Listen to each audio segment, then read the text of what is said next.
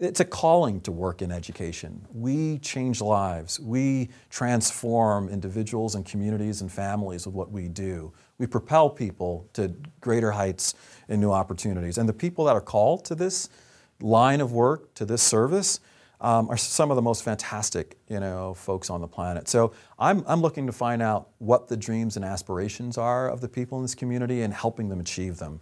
Um, and I'm, I'm looking forward to being a royal. I'm looking forward to, you know, being in the Levine Center, being in our fields. I'm looking forward to being all over the city of Charlotte. This is such an amazing place. I'm looking to partner with uh, Charlotte leadership to figure out how Queens can be an even closer partner uh, with the civic leaders of this wonderful city. Um, but all that in due time. Um, but I'm, I'm, I couldn't be more excited.